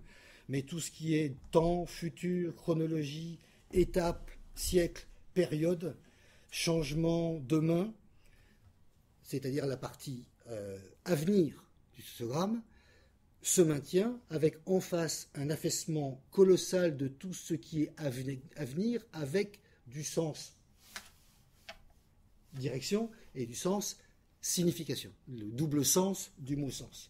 Que ce soit le progrès lui-même, le plan, le programme, l'avenir quand il est radieux, la fin de l'histoire, tout le vocabulaire qu'on a vu dans tous les journaux révolutionnaires du monde, l'aurore, l'étincelle, l'aube, autant que leur contraire éventuel, mais qui nous mettait quand même dans l'avenir vu de façon totalement négative, mais pensée, comme la faillite, le naufrage des valeurs, l'horreur sans fin et la fin effroyable dont parlait euh, Engels pour euh, désigner l'attitude des capitalistes, voire même des termes qui sont des contradictions dans les termes, mais qui, qui sont là pour tenir le présent et garantir l'avenir, comme ce crocolion fabriqué par les euh, Chinois et qu'ils appellent le socialisme de marché. Idée théorisée extrêmement simple, et c'est toi qui m'as donné cette, euh, cette, information, une formule de son Todol Zivkov, qui a eu, quand il a commencé à faire des choses un petit peu autocritiques, a eu cette formule tout à fait intéressante, pas marxiste pour un clou, mais intéressante. Le socialisme est un enfant prématuré. Intéressant comme formule. alors comme si on pouvait jouer avec l'histoire, et puis, bon, puis on va le mettre en couveuse, il reviendra après. Mais c'est l'idée chinoise. Nous sommes passés au socialisme trop vite, on a raté l'étape capitaliste, il nous en faut une, le meilleur moyen, c'est de la faire nous-mêmes. Elle sera mieux faite que les autres. Effectivement, elle est mieux faite que les autres. Aucun pays capitaliste n'oserait faire un capitalisme aussi sauvage et aussi terrifiant, sans corps intermédiaire, sans syndicat ni quoi que ce soit, que euh, les Chinois aujourd'hui. Euh, je voulais te demander d'abord, pour l'avenir, Comment on écrit 89 maintenant Le 30e anniversaire étant passé, une génération entière étant pensée, est-ce que ça n'ouvre pas à certaines portes en disant passons à autre chose? On a des nouvelles racines, on peut essayer autre chose. Et puis j'ai reformulé ça parce que ça me semblait plus en cadre avec ton travail, à savoir, est-ce qu'on peut écrire en Bulgarie aujourd'hui 189 En dehors de ce monde, cet ensemble représentatif 89. Est-ce qu'il n'est pas, est-ce que c'est pas un grand ensemble tellement englobant que toute autre représentation ou autre noyau se trouve à l'intérieur de cette forme de pensée ou de ce paramètre de pensée? Euh, bah écoute, euh, euh, en, Bulgarie, là maintenant la nouvelle vague d'écrivains, on essaye, mais en tout cas moi, moi je, moi je ne pourrais pas. Euh, je pense qu'on a, on a encore euh, tellement, tellement de, euh, des questions et des, des structures toujours en place en place parce qu'ils ils étaient déjà détruites. Alors, les fantômes de ces structures. comme par exemple un mausolée, on avait un mausolée au centre de Sofia euh, la narratrice Alexandra, elle raconte un peu dessus quand, quand elle est à Moscou et elle, euh, elle admire le, mausolée de Lénine. En Bulgarie, euh, le mausolée, c'était le, le, lieu de repos de la momie de Georgi Dimitrov, qui était le, le premier leader bulgare après la 44, après la guerre, dans, le, nouvel État socialiste bulgare. Alors, notre Lénine. Alors, euh, le même style, mausolée, centre-ville, euh, tout, préservé, voilà le corps, lieu de hommage, on passait tous en défilé devant. Euh, alors le, le, mausolée, bien sûr, Dimitrov, il était bien enterré tout de suite après les événements que je, vous ai lus, euh, peut-être le, lendemain, il y avait l'enterrement en vitesse de la momie de Dimitrov euh, quelque part. Le mausolée, il a resté genre euh, toilette publique, graffiti pendant un bon moment. Mais je pense que cette deuxième partie des années 90, il était bombé et détruit avec le dynamite, mais ça a pris, c'était un monument tellement costaud que ça a pris plusieurs jours de, le faire bouger. Non, pas de, tomber à miettes, mais de bouger comme ça.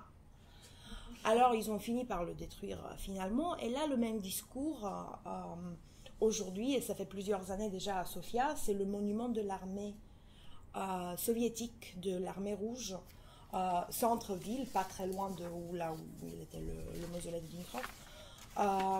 l'armée soviétique libératrice, un, énorme monument fait, fait par un, sculpteur très connu à l'époque, vraiment quelque chose d'impressionnant. Alors là maintenant les discours et bien sûr le, la, la, guerre entre les nouveaux euh, politiciens. Alors, qui va faire quoi avec ce monument?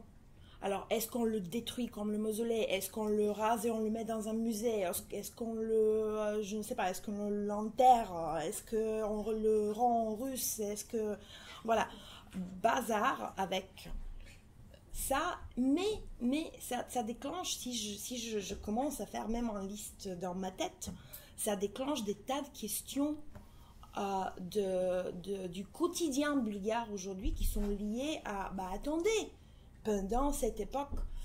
Et voilà, pour répondre à ta question, euh, Patrick, moi je, je, me vois pas hum, écrire sans revenir justement en arrière, derrière cette ligne de démarcation de, de 10 novembre 1989 et même, même dans, euh, le livre qui, euh, sort aujourd'hui, euh, j'ai traduit une de mes nouvelles nouvelles que j'ai écrites en bulgare pour mon dernier recueil en bulgare qui est sorti l'année dernière. une nouvelle qui est vraiment, qui, a vraiment rien à voir. Moi, je, je pensais même que avec mon roman, avec la version bulgare de, ce roman, que j'ai un peu saturé pour moi la, marche en arrière pour euh, justement pour que ça repose en paix, comme, comme j'ai dit tout à l'heure. Apparemment pas. Apparemment, il a toujours. Et alors, je me suis mis à écrire une histoire d'un charmant euh, punk euh, supporter de foot avec des cheveux longs qui s'appelle Judas parce que euh, il aime Judas Priest. Voilà, c'est son groupe préféré. Alors il est, c'est un personnage euh, tellement épouvantable et charismatique. Génial. Mais en fait, en fait, la, la, protagoniste, elle est folle amoureuse de lui.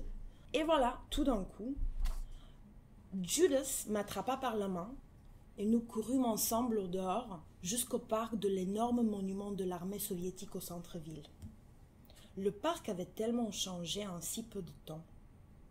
L'époque communiste où il était éclairé, gardé par les miliciens, avec les tulipes rouges poussant sur les parterres de fleurs bordées de pierres, c'était comme hier.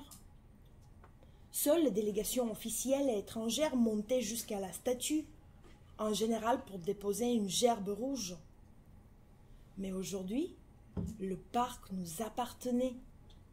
Des jeunes gens chouettes étaient partout pour faire du skateboard ou traîner, boire de la bière sur les bancs et fumer. Le fait qu'il n'y a plus de lumière la nuit n'était même pas une mauvaise chose. L'obscurité profonde rendait l'endroit encore plus intime et agréable. Même les immenses soldats de pierre semblaient plus détendus, comme si eux aussi traînaient avec nous. On avait le même âge en tout cas. Et les graffitis multicolores qui avaient commencé à apparaître sur le monument lui donnaient un air complètement moderne, comme dans les nouveaux vidéoclips de MTV.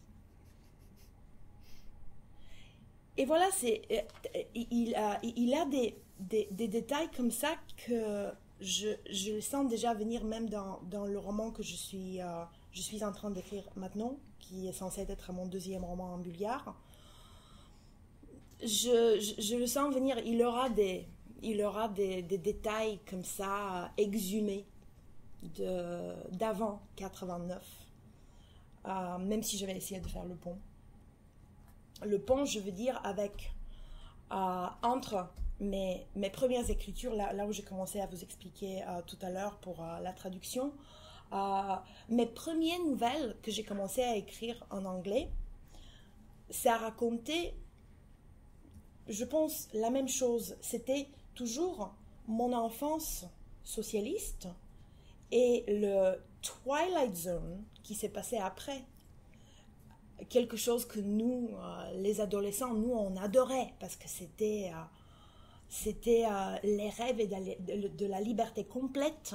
Je peux même pas imaginer qu'est-ce qu'ils ont vécu mes, parents et mes grands-parents qui, qui ont fait la queue pour pendant 6 heures le matin pour deux pots de yaourt par famille.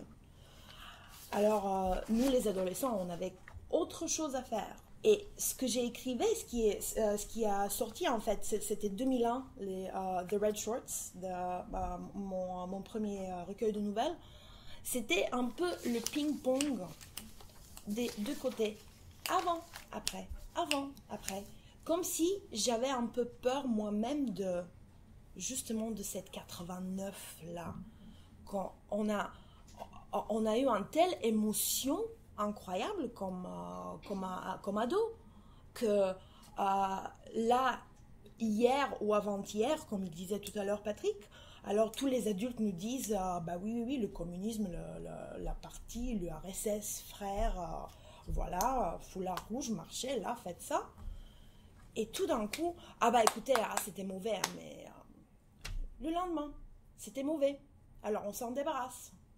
Et nous, bien sûr, on se dit, bah ça alors, euh, ok. Et voilà, c'était, je pense que c'était vraiment euh, euh, un, vrai besoin, besoin pour moi comme, auteur de justement de documenter, comme j'ai dit tout à l'heure aussi, de documenter tout le 89 des années 80, toute la perestroïka, tout ce qui a changé de ce qui était avant la perestroïka tout ce que la perestroïka a laissé en place, tout ce qu'elle a changé. C'était un ton génial déjà des années 80. Mais, franchement, une fois que je l'ai écrit, ça a devenu, ce roman, il a devenu un pont entre tout ce que je voulais dire de avant et après. Et, et voilà, c'était quelque chose euh, de travailler avec Patrick. Euh, le première chose que je voulais en fait souligner, c'était le titre, parce que on a changé le titre. Hein. Euh, c'était suggéré d'abord par Patrick, après avec euh, les éditeurs chez, chez Actes Sud. Pourquoi? Parce qu'ils ne comprenaient pas mon titre bulgare. C'était un tel vulgarité, comme il dit Patrick, que pour eux c'était... alors là, ça dit rien, on comprend rien. Alors je peux vous le dire en bulgare, c'était доклад на зелената амеба за химическия молив. Доклад, rapport на зелената амеба de l'amibe verte за химическия молив sur le crayon chimique. Le rapport de l'amibe verte sur le crayon chimique. Alors ça, c'est vraiment quelque chose que... Tête de l'éditeur. bah, et, nous, on, fait la co-traduction avec Patrick, toujours avec ce titre, la l'amibe. On est en train de, traduire l'amibe, l'amibe verte. Et tout d'un coup, et ben voilà. Alors, en bulgare, il sait tout de suite que un rapport, une amibe verte et un crayon chimique, ce sont des choses d'enfants socialistes. Pourquoi? Parce que dans l'organisation des pionniers, on était obligé d'écrire des rapports qui nous ennuyaient à mort parce qu'il fallait les lire après devant tout le monde. Tout le monde était censé écouter, on faisait que des bêtises. Enfin, c'est à le rapport qu'on écrivait pour documenter les activités de l'organisation des pionniers. La MIB verte, c'est sixth grade.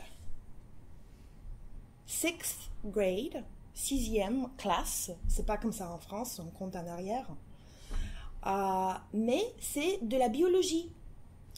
C'est euh, en fait c'est le l'éuglaine qui est verte. C'est pas l'amibe, mais elle s'est plantée et c'est pour ça que ça lui a fait plein de soucis dans le roman cette Alexandra. Elle, s'est trompée parce que elle a dit à sa prof de biologie que c'était l'amibe verte qui faisait la photosynthèse. En fait, elle, avait pas du tout raison.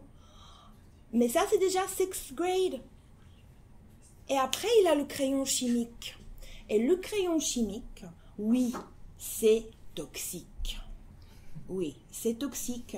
Comme toutes les choses toxiques qu'on a vécues, on a bien vécu pendant cette époque. Alors, il était toxique, mais il n'était pas censé être toxique parce que c'était un crayon rouge et bleu. Alors, moitié rouge, moitié bleu. On taille des deux côtés. Et alors, une fois qu'on mélange avec un peu de l'eau et de salive, si on n'a pas de l'eau, euh, ça devient euh, une peinture à l'eau, mais indélébile, mais, mais super utile, parce qu'on peut, on peut même faire un dessin avec le même crayon. On peut colorier, on peut tout faire. Bien sûr, ce crayon ne se trouve pas facilement parce qu'il a un déficit de tout ce qu'on aime et tout ce qu'on veut. On ne peut pas l'acheter parce que ça ne se vend pas, parce que c'est fini, parce que c'est épuisé, parce qu'il euh, n'a plus de production, voilà. Mais c'était un crayon emblématique aussi pour tout le monde. Pendant l'époque du socialisme, c'était un crayon de rêve. Les mines se cassaient parce que les Bulgares, ils jetaient les, boîtes de crayons comme ça dans les camions une fois qu'ils sont arrivés dans, dans la librairie. Ils, ne se rendaient même pas compte que ça casse des mines. On n'arrivait même pas à tailler un crayon correctement. Nulle part en, en Bulgarie, on collait les mines avec la colle qui marchait pas. Et les crayons chimiques, bien sûr, on avait les mines qui tombaient en permanence. Mais on s'est rendu compte que ce chewing gum blanc, sans couleur et sans goût, on peut très bien le colorer parce que la salive, ça colorait la bouche. On s'est rendu compte que si on mâche la mine avec le chewing gum, et après on crache bien sûr, mais après, une fois qu'on se lave la bouche, on a le chewing gum rose au bleu, encore plus incroyable, chewing gum bleu, ça veut dire que ça vient de l'Ouest. ça vient de l'Ouest. Et on se met comme ça en le tirant, en faisant des bulles pour que tout le monde voit que nous, on a un truc de l'Ouest dans la bouche. Ça veut dire que on connaît quelqu'un qui est allé à, l'Ouest, qui nous a acheté du chewing gum, mais on est tellement branché et cool que voilà. Et alors c'est c'était ça, mais tout le monde savait. Les, parents, ils étaient euh, effrayés quand ils nous voyaient avec des chewing-gum colorés comme ça, que ça veut dire qu'on a mâché des mines toxiques. voilà, c'était bien interdit, mais on s'en foutait. Et voilà, quand on, quand on dit le rapport de l'amibe verte sur le crayon chimique, mais tous les Bulgares, ils savent tout de suite, oh là là là là Notre enfance socialiste, il vaut mieux l'oublier. Ben, des tas, tas, de choses que, ben, que des bêtises. On passe à autre chose. Et ben voilà. Et c'était en fait ce changement déjà du titre qui est euh, euh, qui, qui me fait ben, je ne sais pas, ça me fait rire, Patrick, une fois que je, je, pensais un peu plus dessus, parce que non, non seulement c'était rose, comme ça, le, sur la couverture, c'était rose, mais exactement chewing gum crayon chimique. C'est ce couleur que ça donnait.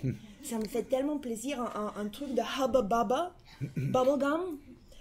Et c'est en fait Patrick comme coréanologue. Ce qui lui, euh, que, l'intéressait dans mon roman au départ, c'était une euh, quoi une ah, une bulgare qui, a d'accord elle a écrit un roman sur la Corée du Nord. Il a il avait dans des années 80 des adolescents de tous les pays communistes qui scandalisaient Pyongyang et moi euh, qui, qui, ça, ça, fait 50 ans que je m'occupe de cette péninsule toute sa littérature et tout. Je savais pas.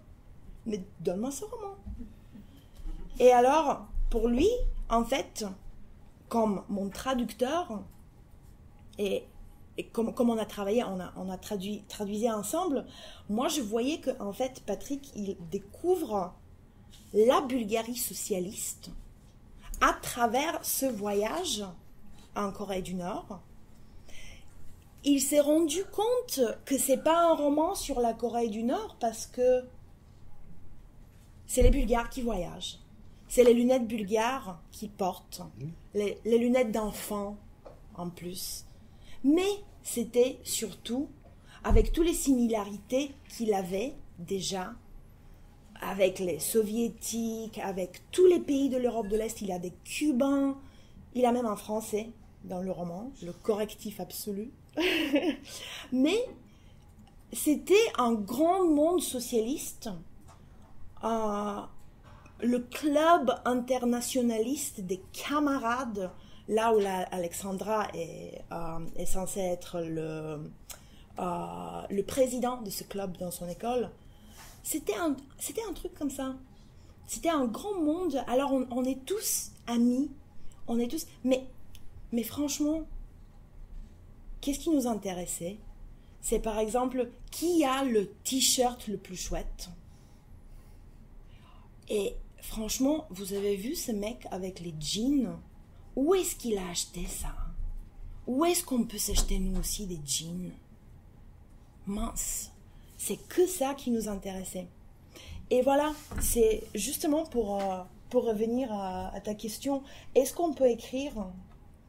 J'espère, j'espère bien, j'espère bien. Là, cette année, en Bulgarie, le, livre de l'année, c'était une anthologie avec 25, 26 auteurs qui s'appelle Les histoires des années 90.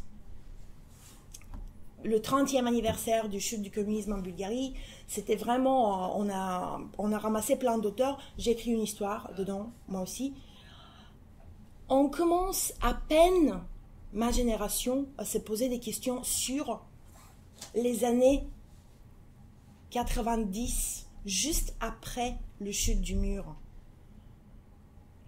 Et là, je me rends compte la, quantité de questions qu'on a encore à se, poser et de les écrire. Alors j'espère bien que qu'un jour on passe à autre chose, mais je pense que pour l'instant, on va, on va écrire toujours plein de 89, plein d'histoires de 89. Un, tout petit point pour après continuer le ping-pong question-réponse, mais avec vous tous. Il y, a, un point d'arrivée qui est le grand leader doit venir vous voir, qui est un slogan qu'on trouve partout en Corée du Nord, dans les communes populaires, les ex-communes populaires, pour exhorter la population et qui ressemble beaucoup à des visites royales au XIXe siècle. Euh, attention, attention, le grand leader va venir vous voir. Donc, euh, soyez tout le temps prêt. Comme vous disiez dans certains couvents, vous ne sais pas à quelle heure, tu ne sais pas quand sera ton heure, quand ton heure va arriver, c'est pas pour qui sonne le glas, etc. Sois toujours prêt pour euh, paraître devant le Seigneur. Là, c'est le Seigneur qui va venir.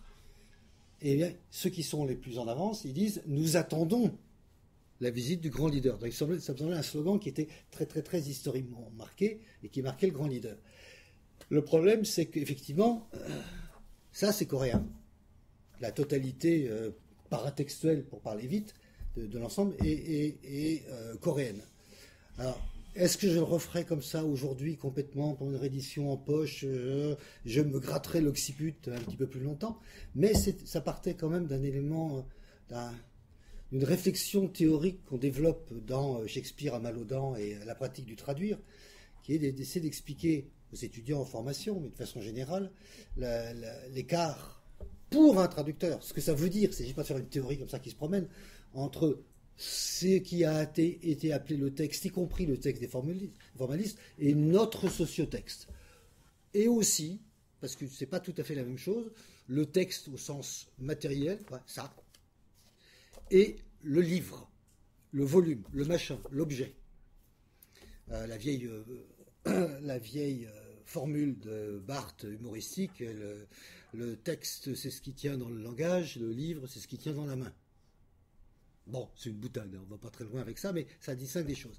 Le traducteur, XYZ, à qui on confie une œuvre qu'il a choisie, part d'un truc comme ça et on lui demande d'arriver à un autre truc à peu près du même genre, qui va déjà être sensiblement différent. En passant par son territoire, c'est ça.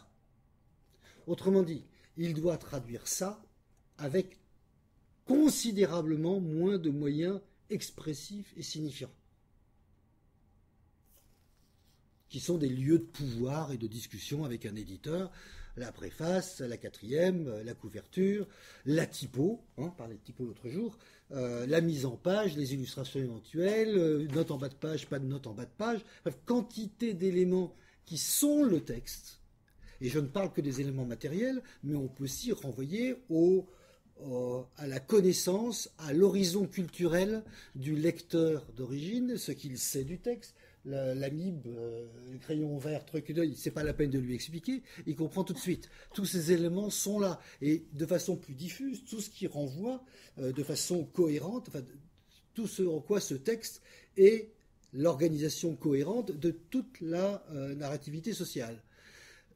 Et de l'autre côté, vous allez fabriquer un objet qui va avoir les mêmes effets, qui va renvoyer à une culture, mais celle du lectorat d'arrivée, qui va renvoyer à un autre monde culturel, à des habitudes, à un autre horizon d'attente, tous ces éléments-là, sur lesquels, en général, vous n'avez absolument rien à dire. Ce livre que vous avez déjà fait avec des choses avec moins de moyens qu'au départ, autrement dit, tant que traducteur, vous n'avez que 80% du matériel à votre disposition, et ce sera donné à des lecteurs sous la forme 100% nouvelle. Ça va fabriquer du sens, ça va inéluctablement fabriquer du sens, sinon on ne se battrait pas pour être bien placé chez les libraires. Il faudrait être débile sinon. On sait très bien que ça fabrique quelque chose. Et eh bien cette chose-là, vous, vous ne pouvez pas l'inclure dans l'ensemble des éléments avec lesquels vous aboutissez à une traduction. On dit toujours que la traduction est une traduction contrainte, est une écriture contrainte, c'est le traducteur qui est contraint. Le traducteur doit faire 100 avec 100, mais on ne lui donne que 80. Démerde-toi. Plus les interdits. Alors ça dépend des pays. Pas de notes en bas de page, sinon tu seras pendu en place publique. La honte du traducteur. Je vais appeler ta maman. Des, horreurs.